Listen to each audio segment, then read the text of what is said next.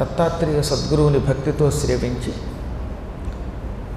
ఇంద్రాది దేవతలు తిరిగి స్వర్గ సామ్రాజ్యాన్ని సంపాదించగలిగారు.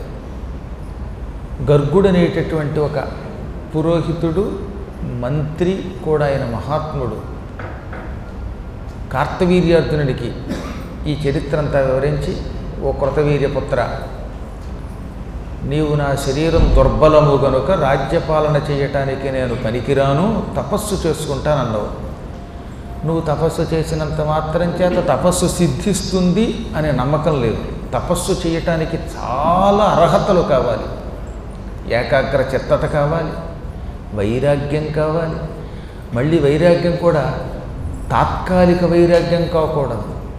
ఒక్కొక్కప్పుడు మనకి ఏమనిపిస్తుందో తెలుసా? శరీరం అనారోగ్యంగా ఉన్నప్పుడు చి ఇక అన్నీ విడిచిపెట్టి తీర్థయాత్రలు చేద్దాం లేక తపస్సు చేసుకుందాం సంసారం వదిలిపెడదాం అనిపిస్తుంది. ఇది ఈ తాత్కాలికంగా అనారోగ్యంగా ఉన్నప్పుడు మాత్రమే ఈ లక్షణం వస్తుంది.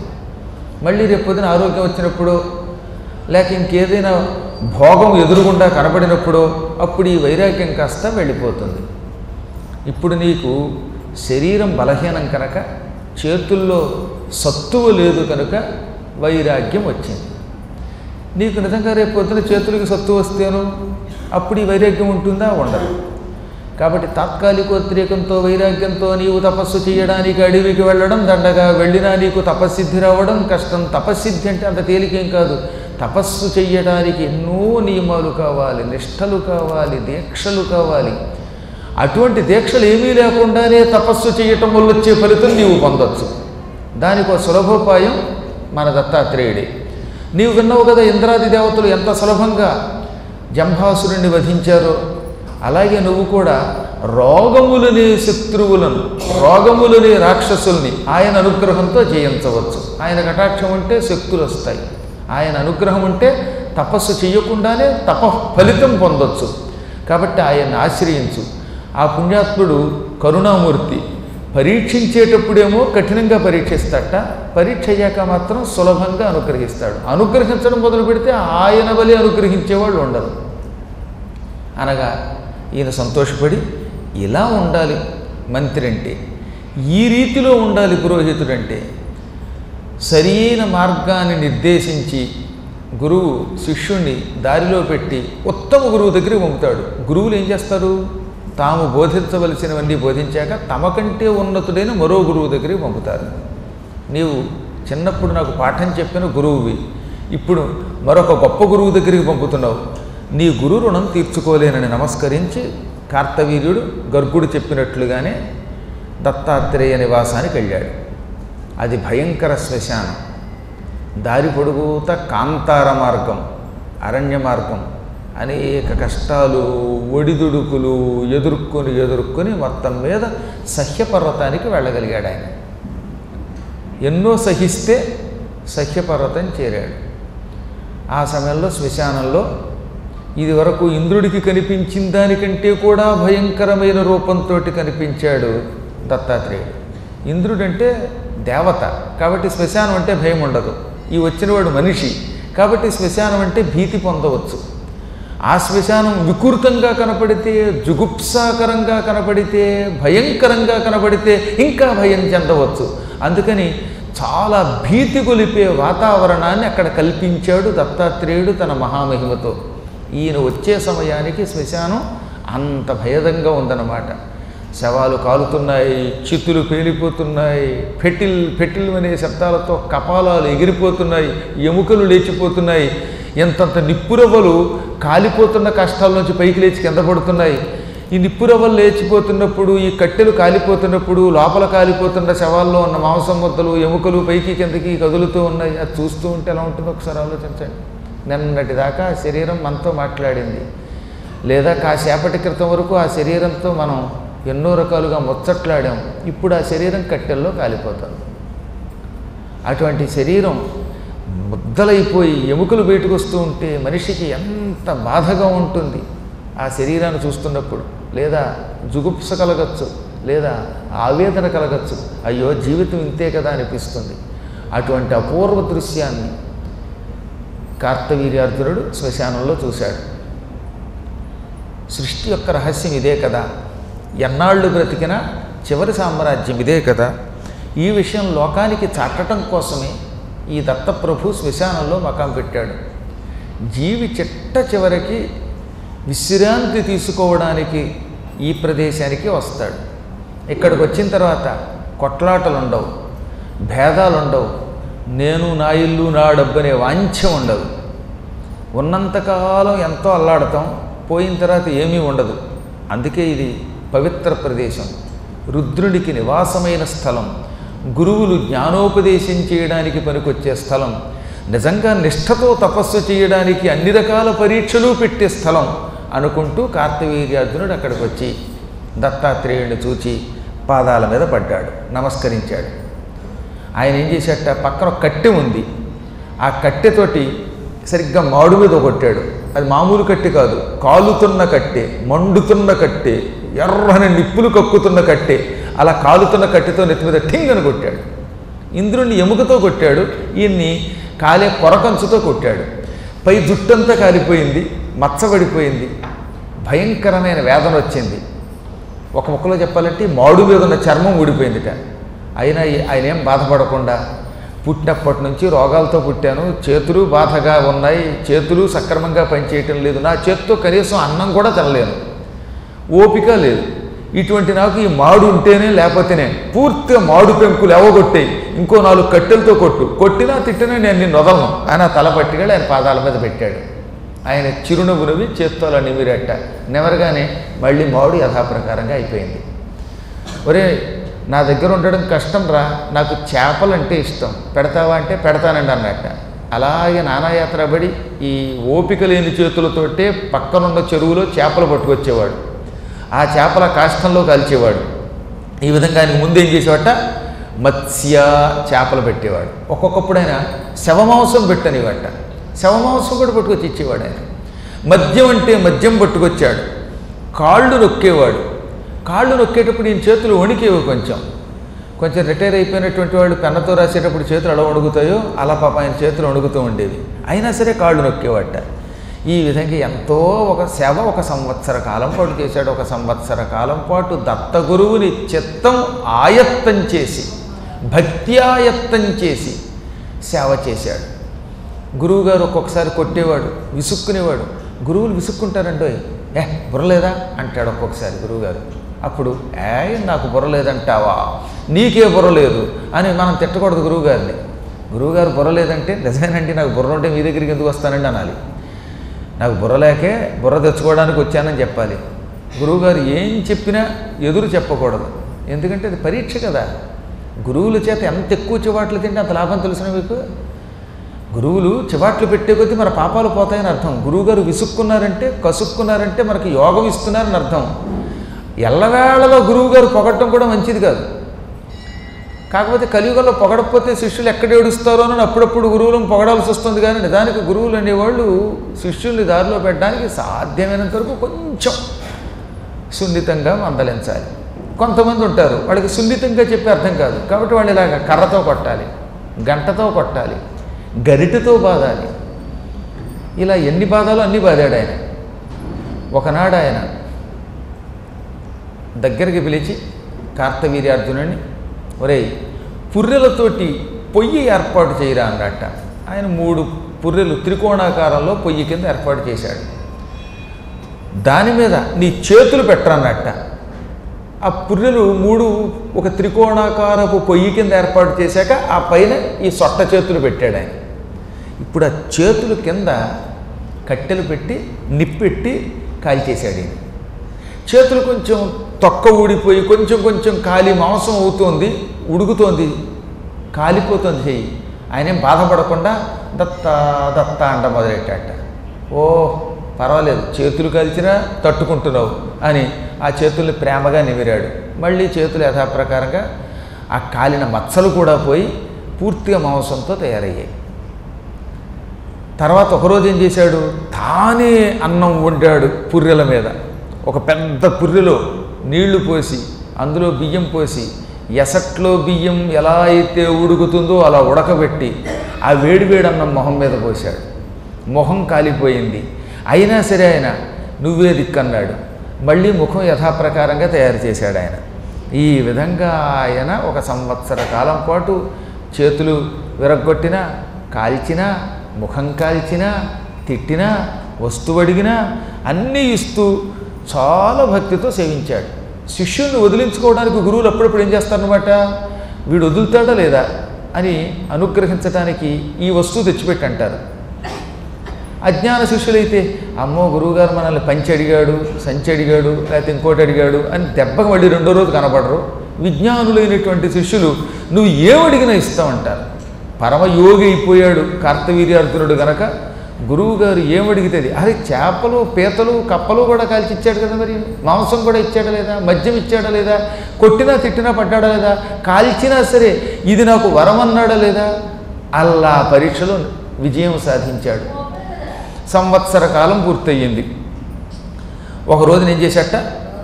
ఈ దత్తాత్రేయుల వారు ఆయన దగ్గరికి పిలిచాడు. కార్తవీర్యార్జున సంవత్సర కాలం నుంచి విసుక్కోకుండా కసుక్కోకుండా నేను ఏం చేసినా తట్టుకుంటున్నావు. నా పరీక్షలలో నెగ్గుతున్నావు. ఇంతకీ నీకేం కావాలంటే నాకేం కావాలి నీ అనుగ్రహం అన్నట్టు ఆయన. ఓహో అలాగా. నా దగ్గర ఒకే ఒక అనుగ్రహం. ఇలా రా అని పిలిచి నీ చేతులు ఇలా పెట్టన్నాడు. అలా పెట్టగానే తాను వెనక్కి తిరిగి అపానము నుండి ఒక భయంకరమైన అగ్నిని సృష్టించాడు. ఎప్పుడూ కూడా అగ్నిహోత్రుడు కింద ఉత్తే పైకి లేస్తాడు. అందుకే అగ్నిహోత్రుడు అపాన జనితుడు అని పేరు అన్నమాట ప్రాణ అపాన వ్యాన ఉదాన సమానాల్లో అపానం అగ్నిస్థానం. యోగులు అపానము ద్వారా వచ్చే వాయువుతోటే అపానము ద్వారా వచ్చే అగ్నితోటే యజ్ఞాలు చేస్తారు. అందుకే యోగి ఎప్పుడూ కూడా మనందరం పైనుంచి కిందకి వెడితే ఈయన కింద నుంచి పైకి వెడతాడే. దాన్నే సంస్కృతంలో ఇంకో మాట అన్నాం ఊర్ధమూలం అధశాఖం అని కొమ్మలు కింద కొండడం ఏమిటి? వేళ్ళు పై కొండడం ఏమిటి? ఎక్కడైనా చెట్లు కల ఉంటాయా? దాని అంతరార్థం ఏమిటి? యోగి పై నుంచి కింద కాకుండా కింద నుంచి పై దాకా కొండలని శక్తిని వ్యాపింపజేయవాడని అర్థం అన్నమాట. అందువల్ల ఆయన అపానం నుంచి ఒక అగ్నిని పుట్టించాట. ఆ అగ్ని మొదలమ్మట అంటే ఈ భుజముల వరకు కార్తవీర్యార్జునుడి చేతులు పూర్తిగా కాల్చి బూడిచ్చేసేసింది ఇంతవరకు కనీసం చేతులు కొంచెం వంకర తిరిగైనా కొద్దిగా ఓపిక లేకపోయినా అసలంటూ చేతులు ఉన్నాయి ఆ చేతులతో ఎంతో కొంత పని చేసుకోగలిగాడు. ఇప్పుడు ఆ చేతులు లేవు. ఇక్కడ దాకా భుజం దాకా పూర్తిగా చేతులు కాల్చేశాడు ఆయన. ఏది? అపానం నుంచి ఒక అగ్నిని సృష్టించి. ఒక్కసారి ఆలోచించండి ఇక్కడ దాకా చేతులు కొంచెం కొంచెం కాలి పైకి వచ్చేస్తుంటే మంట ఎలా ఉంటుంది? అంత బాధని. పళ్ళ దిగువన భరించి నువ్వు మొత్తం శరీరం దగ్ధం చేసినా నాకు సంతోషమే. నువ్వు నాకు వైకుంఠం ఇవ్వడానికే నాకు చేతులు కాలుస్తున్నావు. నా శిరస్సు కూడా కాల్చి వైకుంఠం ప్రాప్తిని నాకు ఈ నాకు వైకుంఠం ప్రసాదించు. నాకు ముక్తిని ప్రసాదించన్నట్ట అప్పుడు ఆయన జాలిపడిపోయి చాలా సంతోషం ఆయన ఇంతకాలం నుంచి నేను ఎన్ని పరీక్షలు పెట్టినా తట్టుకున్నావు కానీ చేతులు మొదలంటా కాల్చాను. బాగా బాధ అనిపించలేదా ఈ బాధను ఎలా తట్టుకున్నావంటే మా గురువుగారు ఎదురుగుండా ఉంటే నాకేం బాధ అన్నట్ట గురువు ఎదురుగుండా ఉంటే అగ్ని మంచు అవుతుంది సముద్రం పిల్లకాలం అవుతుంది భయంకరమైన అరణ్యం హాయి గొలిపే మందిరం అవుతుంది క్రూర మృగాలు పెంపుడు జంతువులు అవుతాయి అది నీ కటాక్షం అనగానే సరే ఇంతకీ నీకేం కావాలి అన్నాడు. అంటే నీ అనుగ్రహంతో రాజ్యపాలన చెయ్యొచ్చని మా మంత్రి చెప్పాడు. అందుకని నీ అనుగ్రహం పొంది శక్తులు పొంది బలం పొంది రాజ్యపాలన చేయాలనుకుంటున్నాను అన్నట్ట. ఇది మొండి చేతులైన ఇప్పుడు. ఇక్కడ దాకా చేతులు పోయేగా పూర్తిగా మొండి చేతులు అయిపోయాయి. ఆ మొండి చేతులతోటే ఏమన్నాడు? నీ అనుగ్రహం ఉంటే నాకు శారీరక బలం వస్తుంది బాహుబలం వస్తుంది రాజ్యపాలన చేయగలుగుతాననగానే పకపకానవి నాకు అంత శక్తి ఉంటే ఈ శ్మశానంలో ఎందుకు గడుస్తాను నేను అశక్తుండి పనికి వాడిని కాంతాసక్తుడ మద్యపానరతుడన్ కష్టప్రచారుండ అత్యంత ప్రీతి భజించదేమిటికి నన్నన్నల్ మహీనాయకుండు అంతఃశుద్ధుడవు ఈ వసంగుడవు విద్యా విస్ఫురన్మూర్తివి ఈ కాంతారత్నము పద్మవాస త్రిజగత్ కళ్యాణి యోగీశ్వరా. నేనా? స్త్రీలోలుండి. నువ్వు చూసావుగా నా పక్కన? ఓ ఆడదున్నది. కేవలం స్త్రీతో తిరిగినా మనం తట్టుకోవచ్చు కానీ తాగుబోతుని భరించలేమే. నేను మద్యాసక్తుండి తెగ తాగుతాను కడవలకి కడవలు మద్యం తాగుతాను కొండలకు కుండలు తాగేస్తాను. ఇక నా ప్రవర్తన చూసావు కదా? కష్టప్రచారుండ నీచమైన ప్రవర్తన. వేదములలో ఉన్న మర్యాదలు నాకు తెలుసా? వేదం ఇటువంటి ప్రవర్తనను అంగీకరిస్తుందా? నా ప్రవర్తన జుగుప్సాకరమైనది. శాస్త్రాలకు విరుద్ధంగా నడుచుకుంటాను. నా నడవడిక ఏమాత్రం మంచిది కాదు. కష్టప్రచార అంటే విరుద్ధమైన నడవడిక కలిగినవాడు. వేదములలో చెప్పిన సంప్రదాయాలకి వ్యతిరేకముగా వ్యసనములతో నడుచుకునేవాడికి కష్టప్రచారుడు అని పేరన్నమాట. నేను నీచ మార్గంలో నడుచుకునేవాడిని అటువంటి నన్ను ఎంత ప్రీతితో పూజిస్తున్నావు? నన్ను పూజించేటటువంటి ఈ సమయంలో ఇంకో దేవుడిని ఎవరినైనా పట్టుకుంటే ఆ దేవుడు నిన్ను అనుగ్రహించేవాడు నీకు శక్తులు ఇచ్చేవాడు.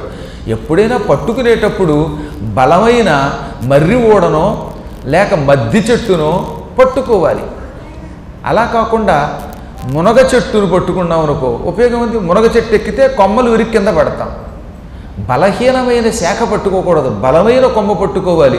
గొప్ప గురువుని సద్గురువుని పట్టుకోవాలి. వేద విరుద్ధ మార్గంలో నడుచుకునేటటువంటి గురువుల్ని పట్టుకోవటం వల్ల ఏం ఉపయోగం లేదు.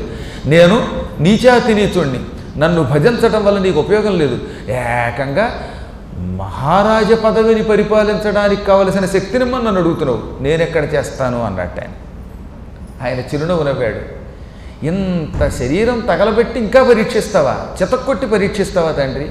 ఇప్పుడు కూడా నా మీద నీకు జాలి కలగలేదా? దైవస్త్వం హి పురాణో స్వామాయా సముపాశ్రిత. నీ మాయతో ఇలా కనపడుతున్న నువ్వు సాక్షాత్తు ఆదిదేవుడివి మహాదేవుడివి హరివి నారాయణుడివి శ్రీ మహావిష్ణువి.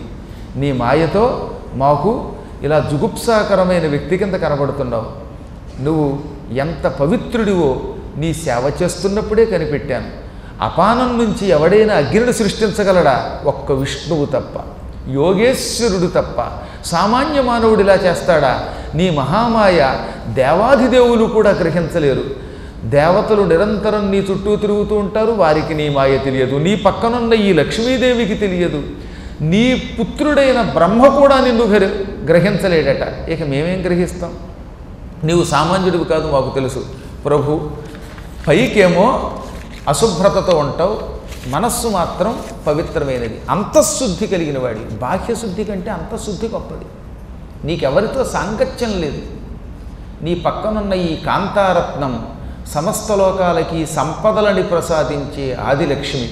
ఈ తల్లి అనుగ్రహంతో లోకంలో ఉన్న వాళ్ళు అన్నం తింటున్నారు. ధనలక్ష్మిగా ధాన్యలక్ష్మిగా సంతానలక్ష్మిగా ధైర్యలక్ష్మిగా విజయలక్ష్మిగా సకల లోకాలని అనుగ్రహించేటటువంటి మోక్షలక్ష్మిగా నిరంతరం చరించే పవిత్రమూర్తిని పక్కనున్నావిడ.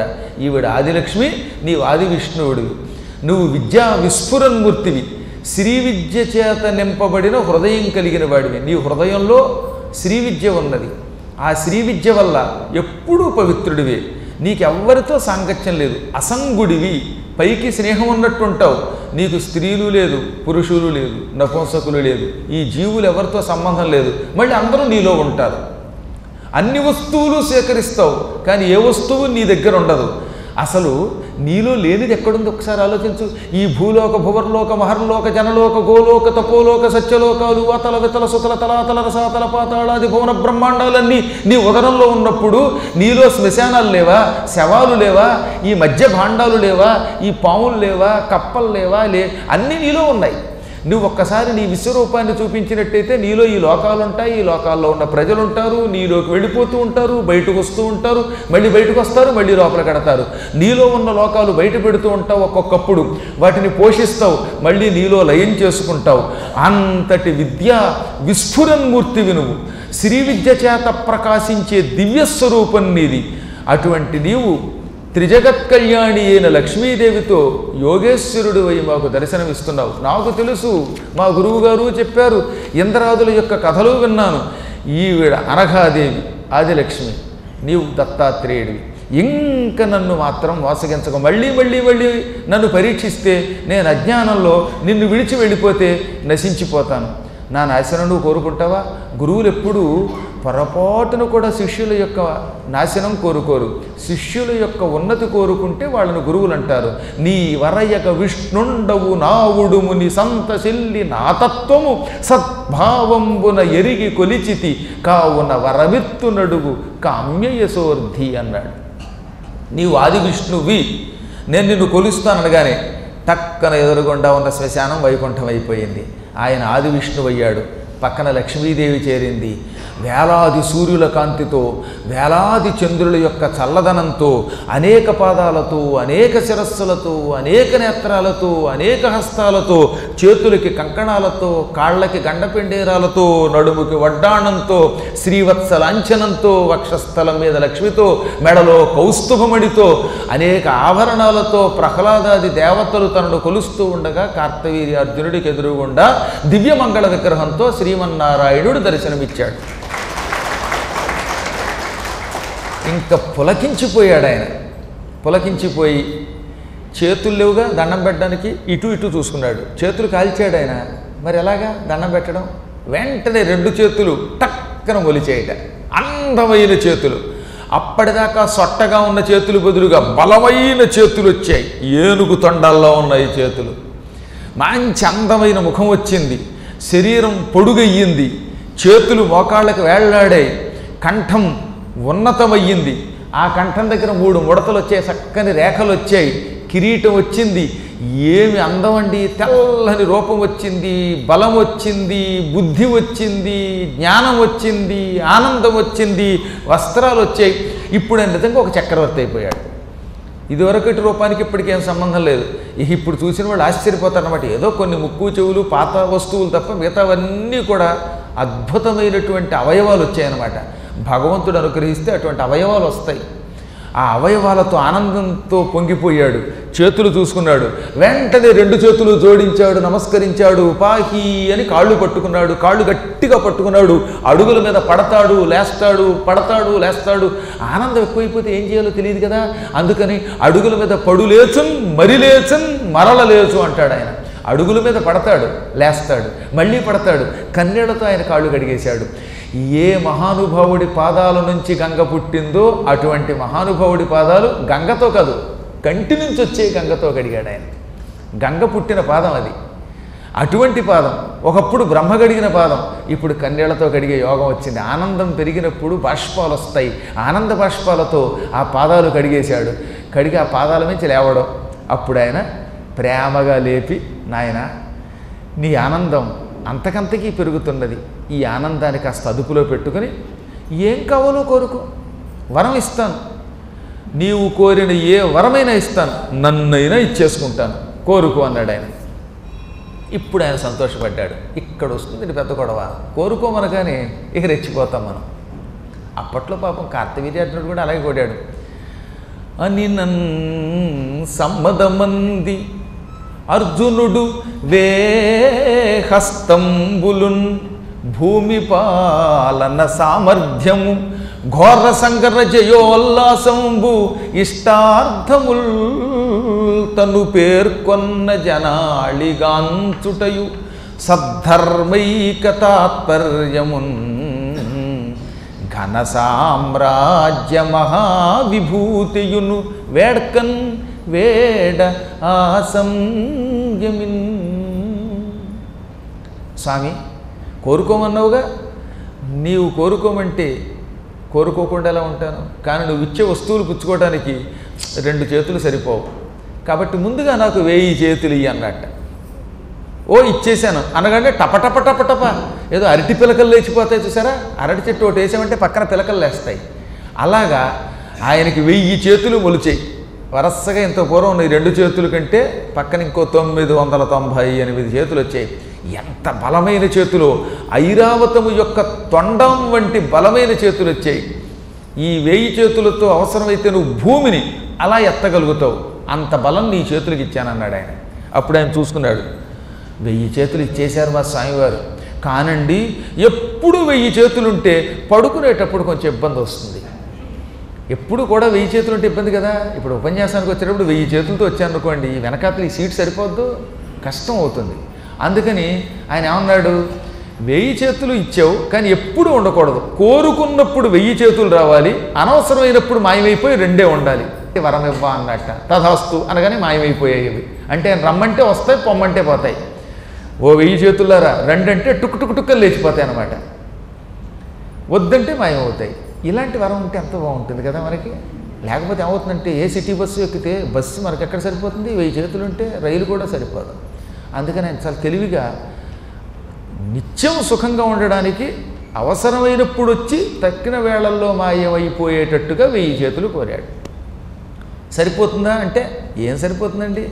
ఈ భూమండలం అంతా నేను పరిపాలించాలి అంత సామర్థ్యం కావాలి. భూమి పాలన అంటే ఏమిటి? బలం ఉండాలి బుద్ధి ఉండాలి సంపద ఉండాలి.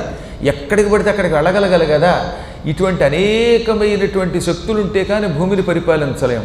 నేను ఉండడానికి మాహిష్మతీపురంలో ఉన్నా మొత్తం భూమండలం అంతా నా అపార శక్తితో పరిపాలించాలి ధర్మబద్ధంగా పాలించాలి సంపదలతో పాలించాలి ఆ భూపాలన సామర్థ్యం ఏమంటే తథాస్తు ఇచ్చానన్నాడు. ఇంకేమన్నా కావాలా? ఇంకా అసలు నేను కోరుకున్న వాటిలో ఒకటి రెండేగా కోరింది ఇంకా చాలా ఉన్నాయి. I have a great list ముందే తెచ్చుకొచ్చాను. ఘోర సంగర జయోల్లాసంబు. భయంకర యుద్ధం జరిగినప్పుడు ఇక నన్ను ఎదిరించేవాడు ఎవడు ఉండకూడదు. ఎక్కడ ఎవడితో యుద్ధం వచ్చినా వాడిని నేను జయించాలి చెతక్కొట్టేయాలి యుద్ధ రంగంలో నాకు సాటి వచ్చేటటువంటి వాడు భూమి మీద మరొకడు ఉండకూడదు. అనగానే నీతో యుద్ధం చేసి ఎవ్వడు జయం పొందలేడు. ఒక్క నేను తప్ప. ఆ మాట తప్పితే వడి ప్రమాదం. నా విష్ణు అవతారం ఉన్నటువంటి వ్యక్తితో మాత్రం విష్ణుదేవుని అవతారమూర్తితో మాత్రం యుద్ధం చేసావా? ఈ చేతులు నిన్ను రక్షించవు. అప్పుడు నీ చేతులు చుప్పనాతులు అవుతాయి కాబట్టి నాయన ఒక్క విష్ణువుతో తప్ప ఇంకెవరితో అయినా నీవు యుద్ధం చేసి జయం పొందగలుగుతావు. ఒక్క విష్ణువు అంటే శివుడని కూడా అర్థం. శివుడికి కేశవుడికి తేడా లేదు. పొరపాటున వెళ్ళి నువ్వు శివుడితో యుద్ధానికి వెళ్ళినా నీ చేతులన్నీ పొట్లకాయలు తిగినట్టు తెగిపోతాయి పొట్లకాయలను నరకడం చాలా తేలికండోయ్. పొట్లకాయలు చాకుతేలా కొడితే టక్కన తెక్కింద పడిపోతుంది.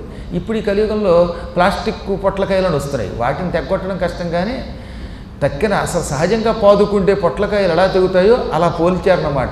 కాబట్టి శివకేశవుల జోలికి వెళ్ళనంత వరకు నీకు యుద్ధంలో జయం వస్తుంది. శివకేశవులతో యుద్ధానికి తలపడ్డావా? ఈ చేతులు నిన్ను రక్షించవు కాబట్టి ఎప్పుడూ యుద్ధంలో నీకే జయం. ఇంకేం కావాలి? ఇష్టార్థముల్. నేను ఏం కోరితే అది నాకు రావాలి. నేను పాయసం అనగానే టక్కన పాయసం రావాలి. ఒక ఆయన అడిగాడు ఎప్పుడు గురుగారు ముందు పాయసం ఎత్తుతారేమని? ఏం చేయను మరి నేను అమ్మవారి భక్తుడిని అమ్మవారికి నివేదనలో ఒక్కొక్క చక్రమునకు ఒక్కొక్కటి పెట్టాలి గుర్తుపెట్టుకోండి. అందుకని ఆహార పదార్థాలను వర్ణిస్తాను నేను. నేను మీరు ఒక్కసారి ఎప్పుడైనా చూడండి. పాయసాన్న ప్రియ త్వక్స్థ పశులోక భయంకరి అమృతాది మహాశక్తి సంవృత డాకినీశ్వరి. అమ్మవారు మన శరీరంలో ఒక్కొక్క రూపంలో ఉంటుంది. డాకినీశ్వరి అనే పేరుతో ఉన్నప్పుడు మన చర్మమును రక్షిస్తుంది. చర్మం బాగుంటేనే కదండి మనం బాగుంటాం మన చర్మం అసహ్యంగా ఉంటే అనారోగ్యంగా ఉంటే గట్టిగా మంచినీడు తాగలేము స్నానం చేయలేము. అవునా? చర్మం బాగా లేకపోతే మీరు గంగలో మొలగలరా? చర్మం బాగా లేకపోతే ఐదు నిమిషాలు కూర్చోగలరా? చర్మం కనుక అనారోగ్యం అయ్యి మచ్చలతో ఉంటే ఒక్క క్షణం ఉండగలమా? ఈ చర్మమును రక్షించే తెల్లవిడ త్వక్కు స్థ అంటే చర్మమునందు ఉండునది. ఆవిడకి డాకినీశ్వరి అని పేరు. ఆవిడ అమృతం వంటి శక్తులతో ఉంటుంది. అమృతాది మహాశక్తి సేవిత ఆవిడ పాయసాన్న ప్రియ. పాయసాన్నం అంటే ఇష్టం. కాబట్టి మా ఉపాసనలో శ్రీచక్రోపాసనలో ఈవిడిని తలుచుకుని ముందు పాయసాన్ని నివేదన పెట్టాలి. అలాగే ఒక్కొక్క చక్రంలో ఒక్కొక్క స్థానంలో ఒక్కొక్క అవయవంలో ఒక్కొక్క రూపంతో ఉంటుంది ఆవిడ. హరిద్రాన్నయిక రసిక హాకిని రూపధారిణి. చూసారా మీరు? అందుకని ఈ ఆహారాలు వర్ణించడం. పిచ్చాళ్ళమై తెలివి తక్కువడమై అంత చవటలమై ఏం వర్ణించడంలా? అంతేగాని గురువుగారు పులిహార గురించి చెబుతారు పాయసం గురించి చెబుతారు ఇది కూడా పురాణమేనా? అనే మూర్ఖుడు ఒక్కొక్కడు ఎప్పుడైనా అనవచ్చుగాక తన అతి తెలివితేటలతోటి. దానికి మేమేం బాధపడం ఎందుకంటే అది భగవత్ స్వరూపం. అది ఉపాసనలో ఒక మార్గం. లేకపోతే శంకరాచార్యుడు ఎందుకని మాట్లాంటాడు లేకపోతే శ్రీనాథుడు తెలివి తక్కువాడా? లేకపోతే పోతన గారు సద్దన్నం తింటున్నప్పుడు మాగాయ ముక్కల దగ్గర నుంచి ఎందుకు వర్ణించాడు? అలాగే మహానుభావులైన ఋషులు యజ్ఞం చేసుకున్నప్పుడు ఆ పిండి వంటలు దేనికి వర్ణించారు? వాళ్ళేం తెలివి తక్కువాడా అమాయకుల? పురాణంలో రాయబడిన ద్రాక్షాపానక నారికేళవులతో వ్యాసుడు ఎందుకు రాశాడు? అంటే వ్యాసుడు ఎంత అమాయకుడా పోనీ ఆయన తింటాడా? మీరు ఏమైనా పెడితే నేను తింటానా? నేను ఎంత తింటానో నాకు భోజనం పెట్టేవాడికి తెలుస్తుంది. ఇది కేవలం ఆయా రూపములలో ఉన్న దేవతల యొక్క నైవేద్యం. ఏ దేవతను ఇష్టపడతామో ఆ దేవత యొక్క నైవేద్యం తప్పక మన నోటి వెంబడి వస్తుంది. మీ నోటి వెంబడి అది రాకుండా ఇంకేదో వస్తుందంటే మీరు దేవతలకి ఈ నైవేద్యం చేయటం లేదు ఈ ఉపాసన లేదని అర్థం అనమాట వాడు ఎప్పుడు పురాణంలో మాట వరసకు కూడా భగవన్ నివేదన గురించి చెప్పడం లేదనుకోండి వాడు ఉపాసకుడు కాడు అని శాస్త్రం చెబుతున్నది నేను చెప్పలేదు. కాబట్టి ఎందుకు చెప్తున్నానంటే నేను ఏం కావాలంటే అది రావాలి. నేను కోరుకున్న వస్తువు రావాలి. నేను కంకణం అంటే కంకణం రావాలి పాయసం అంటే పాయసం రావాలి పులిహార అంటే పులిహార రావాలి విమానం అంటే విమానం రావాలి భవనం అంటే భవనం రావాలి. ఈ విధముగా నేను కోరుకున్న అర్థములు రావాలి ఇష్టార్థములు రావాలి. ఏం కోరితే అది ఇస్తావా అంటే ఇచ్చేశాను. నువ్వు తలుచుకో. తలచిన మాత్రం చేత వచ్చి పడిపోతాయి వీర్యార్జున ప్రత్యక్షం కావాలి అనగానే అది నాకు తెలియాలి నేను తక్షణం అక్కడ ప్రత్యక్షం అవ్వాలి. నన్ను ఎవరు పిలిచినా నన్నెవరు తలచినా వారి ముందు ఆ క్షణమే ప్రత్యక్షమయ్యే శక్తి నాకు ప్రసాదించు. తథాస్తు అన్నాడు ఆయన. ఎంత అదృష్టం ఉండేది? దత్తాత్రేయుడిని ఇక్కడెక్కడో గుంటూరులో దత్తాత్రేయుడు ఈ కార్తవీర్యార్జునుడు పురాణం చెబుతున్నాడు అనుకుందాం. ఆ సమయంలో ఢిల్లీలో వాళ్ళు కాసేపు కార్తవీర్యార్జున రమ్మనగానే ఈయన టక్కన అక్కడికి వెళ్ళగలడట. ఇక్కడ ఉండగలడు అక్కడ ఉండగలడట. అది కూడా. మళ్ళీ ఇప్పుడు పద్మాకర్ గారు రెండని పిలిస్తే నేను మాయమైపోతే నేను వచ్చేదాకా వెరిమోహాలు వేసి కూర్చోవాలి మీరు. కాబట్టి అమ్మవాలి ఇక్కడిక్కడే కూర్చోవాలి అక్కడ మళ్ళీ ఇంకో రూపంతో ప్రత్యక్షమై వాళ్ళ కోరిక తీర్చగలగాలి. పిలిచిన వెంటనే వాళ్ళ దగ్గర మరొక రూపంతో ప్రత్యక్షం అవ్వాలి అదే ఏకో నేకోహమస్మి ఏకహ అంటే ఒక్కడిని అనేక. ఎక్కువ మందిగా అహం నేను అస్మి అయ్యున్నాను. నేను ఒక్కడే ఎంతో మందిని అవుతున్నాను ఒక మంత్రం ఉండేది వేదల్లో. ఏకో నేకోహమస్మి అని. ఇటువంటి మహామంత్రములు మహానుభావుడు పెంగళి నాగేంద్రరావు గారు సినిమాల్లో పెట్టాడు. అది సామాన్యులకి తెలియక ఏదో అనుకుంటున్నారు అమాయకత్వంతో. ఏకహ అనేకహ అహం అస్మి అన్నమాట అది. అంటే దాన్ని ఆయన ఎంత పురాణ జ్ఞానం ఉన్నవాడు అంటారు ఒకసారి ఆలోచించండి. ఇలాంటివన్నీ చదివి రాశారు వాళ్ళు. ఏమీ చదవకుండా ఇప్పుడు గుర్తుండి వస్తున్నారు కాబట్టి కొంతమంది అవి పాటల్లో ఉండలేదు మన తాటలు తీసేటట్టుగా కనపడుతున్నాయి.